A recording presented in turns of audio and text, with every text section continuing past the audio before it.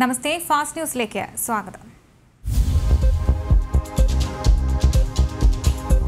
സ്വർണക്കടത്ത് കേസിൽ മുഖ്യമന്ത്രിയുടെ മുൻ പ്രിൻസിപ്പൽ സെക്രട്ടറി എം ശിവശങ്കറിനെ എൻ ഐ എ ചോദ്യം ചെയ്യുന്നു. എൻ ഐ എ പ്രത്യേക സംഘത്തിന്റെ നേതൃത്വത്തിൽ കൊച്ചിയിൽ രാവിലെ പത്ത് മണിക്കാണ് ചോദ്യം ചെയ്യൽ ആരംഭിച്ചത്.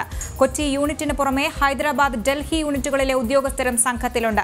നേരത്തെ എൻ ഐ എയും കസ്റ്റംസും ചോദ്യം ചെയ്തതിലെ മൊഴികളിലെ വൈരുദ്ധ്യമാണ് സംഘം ചോദിച്ചറിയുന്നത്. സാങ്കേതിക സംവിധാനങ്ങൾ കൂടി ഉപയോഗപ്പെടുത്തിയുള്ള ചോദ്യം ചെയ്യൽ മുഴുവനായും ചിത്രീകരിക്കും. ചോദ്യം ചെയ്യലിനു ശേഷം അറസ്റ്റ് നടപടികളിലേക്ക് കടക്കാനും സാധ്യതയുണ്ട്.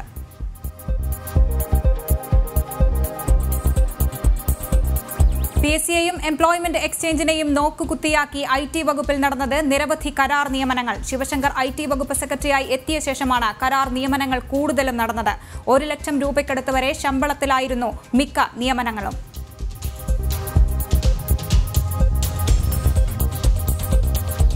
സ്വർണക്കടത്ത് കേസിലെ പ്രതി സ്വപ്നയുടെ സ്ഥിര നിക്ഷേപങ്ങൾ മരവിപ്പിക്കാൻ കസ്റ്റംസ് നിർദ്ദേശം. ബാങ്കുകൾക്കാണ് നിർദ്ദേശം നൽകിയത്. നാൽപ്പത്തിയഞ്ച് ലക്ഷം രൂപയുടെ രേഖകൾ കൂടിയാണ് കണ്ടെത്തിയത്. തിരുവനന്തപുരം എസ് ബി ഐ ലോക്കറിൽ നിന്നാണ് രേഖകൾ കണ്ടെത്തിയത്.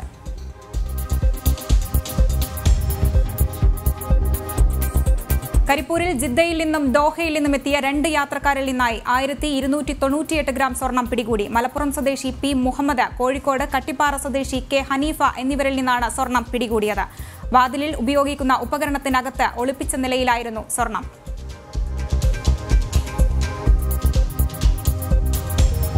നിയന്ത്രണങ്ങളുണ്ടെങ്കിലും കൊറോണ വൈറസ് സംസ്ഥാനത്താകെ പടർന്നു പിടിക്കുകയാണ്. സമ്പർക്കം വഴിയുള്ള രോഗവ്യാപനമാണ് ആശങ്ക ഉയർത്തുന്നത്. തലസ്ഥാനത്ത് ലാർജ് കമ്മ്യൂണിറ്റി ക്ലസ്റ്ററുകൾക്ക് പുറത്തും രോഗവ്യാപനം കൂടുന്നതിനാൽ ഇന്നു മുതൽ നിയന്ത്രണങ്ങൾ കർശനമാക്കും. കോട്ടൂർ ഉൾപ്പെടെ വനവാസി മേഖലകളിലും രോഗം കണ്ടെത്തുന്നത് ആശങ്ക വർദ്ധിപ്പിക്കുന്നു.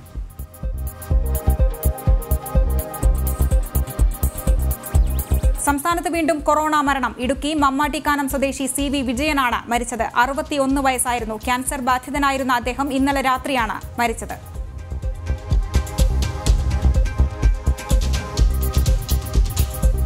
കോട്ടയത്ത് കൊറോണ ബാധിച്ച് മരിച്ചയാളുടെ സംസ്കാരം തടഞ്ഞുവെന്ന് ആരോപിച്ച് councillor അടക്കമുള്ളവർക്കെതിരെ case. B J P councillor T N ഹരികുമാറിനും കണ്ടാലറിയാവുന്ന മുപ്പത് പേർക്കുമെതിരെയാണ് കേസെടുത്തത്. ജനവാസ മേഖലയിലെ സംസ്കാരത്തിനെതിരെയായിരുന്നു പ്രതിഷേധം.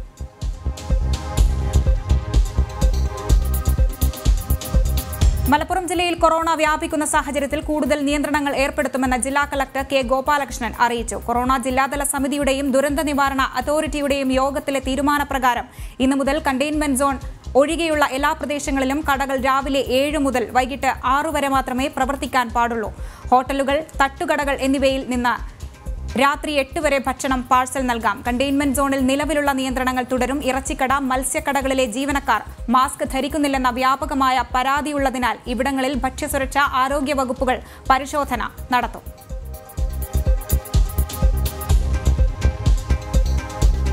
കൊച്ചി കോർപ്പറേഷനിലെ മുപ്പത്തിയാറ് അൻപത്തിരണ്ട് ഡിവിഷനുകൾ കണ്ടെയ്ൻമെന്റ് സോണുകളാക്കി. ചമ്പക്കര മാർക്കറ്റ് ഒഴിച്ചുള്ള കൊച്ചി കോർപ്പറേഷനിലെ ഡിവിഷൻ അൻപത് തൃപ്പൂണിത്തുറ നഗരസഭാ ഡിവിഷൻ മുപ്പത്തിയഞ്ച് നാൽപ്പത്തിയെട്ട് വടക്കേക്കര പഞ്ചായത്ത് ഡിവിഷൻ പതിനാറ് എന്നീ പ്രദേശങ്ങൾ കണ്ടെയ്ൻമെന്റ് സോണിൽ നിന്ന് ഒഴിവാക്കിയെന്നും റിപ്പോർട്ടുണ്ട്.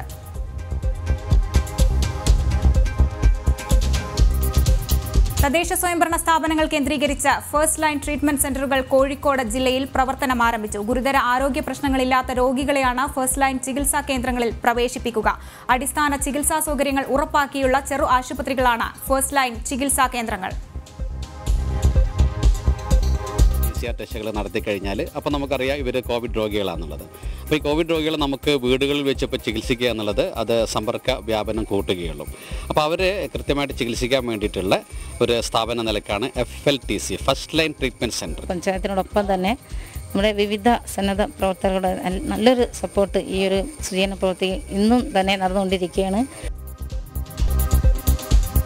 കൊല്ലത്ത് ധാരാവി മോഡൽ പ്രതിരോധ നടപടിക്ക് തുടക്കമായി. ആദ്യഘട്ടത്തിൽ തൊഴിലാളികളെയും വ്യാപാരികളെയും പത്ത് വീതം വരുന്ന യൂണിറ്റുകളാക്കി മാറ്റി. ജില്ലയിൽ രോഗവ്യാപനം ഒരാഴ്ച കൂടി ഉയർന്നു നിൽക്കുമെന്ന് മന്ത്രി ജെ മേഴ്സിക്കുട്ടിയമ്മ പറഞ്ഞു. അഞ്ചൽ പുനലൂർ കടയ്ക്കൽ കൊട്ടാരക്കര ഈ മേഖലകളിലെല്ലാം കൂടെ ചേർന്നാണ്. അതെല്ലാം നമ്മളിപ്പോൾ ഇരുപത്തി അഞ്ചിന് ഓപ്പൺ ചെയ്യുന്നത് ഇരുപത്തിയാറ് ഇരുപത്തിയേഴ് അങ്ങനെ മുപ്പത്തി ഒന്ന് വരെ. ഈ ഇന്ന് നമ്മൾ കാണുന്ന ക്ലസ്റ്ററുകളോട് ചേർന്ന് തന്നെ ഫസ്റ്റ് ലൈൻ ഹോസ്പിറ്റൽ അറേഞ്ച് ചെയ്ത തരത്തിൽ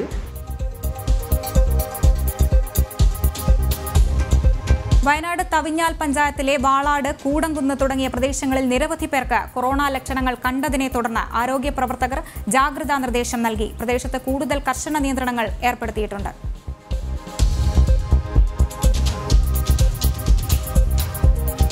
ഗ്രാമപഞ്ചായത്തുകൾ അടക്കം തദ്ദേശഭരണ സ്ഥാപനങ്ങൾ ആരംഭിക്കാനിരിക്കുന്ന ഫസ്റ്റ് ലൈൻ ട്രീറ്റ്മെന്റ് സെന്ററുകളിലേക്ക് ആവശ്യത്തിന് ഡോക്ടർമാരെ കണ്ടെത്താൻ പ്രയാസമുണ്ടായേക്കാം. നിലവിൽ താൽക്കാലിക അടിസ്ഥാനത്തിൽ നിയമിക്കപ്പെട്ട ഡോക്ടർമാർക്ക് വാഗ്ദാനം ചെയ്തതിനേക്കാൾ ഇരുപതിനായിരം രൂപ വരെ കുറച്ചേ വേതനം ലഭിക്കുന്നുള്ളൂ. എന്നതിനാൽ പുതുതായി ഈ മേഖലയിലേക്ക് വരാൻ ഡോക്ടർമാർ മടി കാണിക്കുകയാണ്.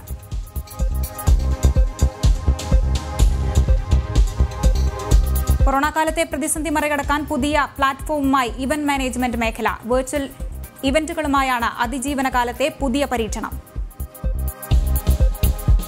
നമുക്ക് ഉണ്ടാവുന്ന ഫീൽ എന്താണോ ആ ഒരു ഫീൽ തന്നെ നമുക്ക് ഈ വെർച്വൽ ഇവന്റ് പ്ലാറ്റ്ഫോമിലൂടെ നമുക്ക് കൊടുക്കാനായിട്ട് സാധിക്കും. ഒരു വെർച്വൽ സ്റ്റേജിൽ ഇവന്റ് ലൈവായിട്ട് നമുക്ക് കാണാനുള്ള ഓപ്പർച്യൂണിറ്റിയാണ് നമുക്ക് ഉണ്ടാവുക നമ്മുടെ ഈ ലോകത്തിന്റെ എവിടെ നിന്നാണെങ്കിലും നമുക്ക് എവിടെയുള്ള ആളെ ആണെങ്കിലും നമുക്ക് ഈ സ്റ്റേജിനുള്ളിൽ നമുക്ക് കൊണ്ടുവന്ന് പ്ലേസ് ചെയ്യാൻ പറ്റും. അതിൽ ഈ പറഞ്ഞ വെർച്വൽ റിയാലിറ്റി ടെക്നോളജിയാണ് നമ്മൾ യൂസ് ചെയ്യുന്നത്. മാഹി പള്ളൂരിൽ ബി ജെ പി പ്രവർത്തകന്റെ വീടിന് നേരെ സി പി എം അക്രമം. മുക്കുവൻപറമ്പ് കോളനി പരിസരത്തെ ബി ജെ പി പ്രവർത്തകൻ സജേഷിന്റെ വീടിന് നേരെയാണ് അക്രമം നടന്നത്. വീടിന്റെ ജനൽ ചില്ലുകൾ പൂർണമായും അടിച്ചു തകർത്തു. വീടിന് മുൻപിൽ നിർത്തിയിട്ടിരുന്ന വാഹനവും തകർത്തു. യാതൊരു പ്രകോപനവുമില്ലാതെയാണ് പ്രദേശത്ത് സി പി എം ഇത്തരത്തിലുള്ള അക്രമം അഴിച്ചുവിട്ടതെന്ന് ബി ആരോപിച്ചു.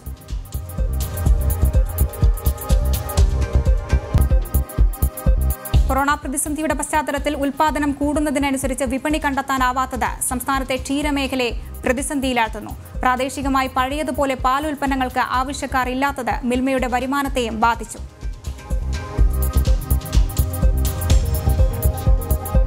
സർക്കാരുകൾ വനവാസികൾക്കായി വിവിധ പദ്ധതികൾ നടപ്പിലാക്കുമ്പോഴും ഇതൊന്നും അർഹരിലേക്ക് എത്തുന്നില്ല എന്നതിന്റെ ഉദാഹരണമാണ് വയനാട് കണിയാമ്പറ്റയിലെ വനവാസി കരുണാകരന്റെ ജീവിതം. ഒരു തുണ്ട് ഭൂമിയോ കേറിക്കിടക്കാൻ ഒരു വീടോ ഇല്ലാതെ വർഷങ്ങളായി സ്വകാര്യ വ്യക്തി നൽകിയ സ്ഥലത്ത് ഷെഡ് കെട്ടി ജീവിതം തള്ളി നീക്കുകയാണ് ഇദ്ദേഹം.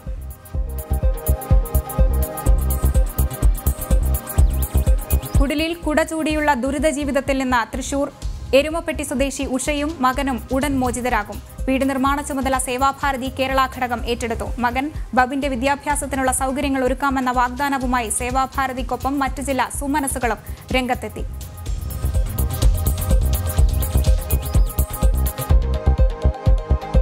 രോഗബാധിതനായ കൊച്ചി സ്വദേശി അരുൺകുമാർ കരൾ ദാതാവിനെ തേടുന്നു. നാൽപ്പത്തിമൂന്നുകാരനായ അരുൺകുമാർ ദീർഘനാളായി കരൾ രോഗം ബാധിച്ച് ചികിത്സയിലാണ്.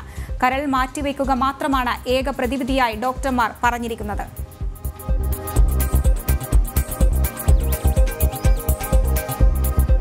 കാർ മതിലിൽ ഇടിച്ച് രണ്ടുപേർ മരിച്ചു. പാലക്കാട് കോങ്ങാട് ചെറായ കനാൽ പാലത്തിന് സമീപത്താണ് അപകടം. കാരാകുർഷി സ്വദേശികളായ മുഹമ്മദ് അനസ് മുറവഞ്ചേരി വീട്ടിൽ ഷുഹൈബ് എന്നിവരാണ് മരിച്ചത്. ഗുരുതരമായ പരുക്കേറ്റ ഒരാളെ തൃശൂർ മെഡിക്കൽ കോളേജിൽ പ്രവേശിപ്പിച്ചു.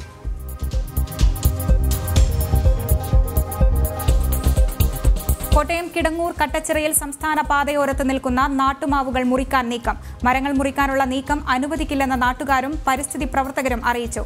കഴിഞ്ഞയിടയ്ക്ക് മാവിന്റെ ചില്ലകൾ ഒടിഞ്ഞു വീണു എന്നാരോപിച്ചാണ് മാവ് മുഴുവനായി മുറിച്ചു നീക്കണമെന്നാവശ്യപ്പെട്ട ചിലർ രംഗത്തെത്തിയത്.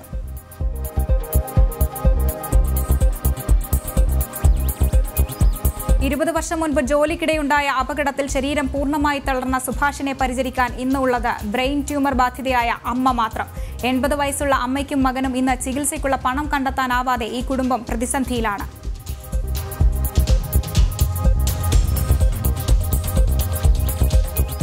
ഇതോടെ ഫാസ്റ്റ് ന്യൂസ് പൂർണമാകുന്നു. നമസ്തേ.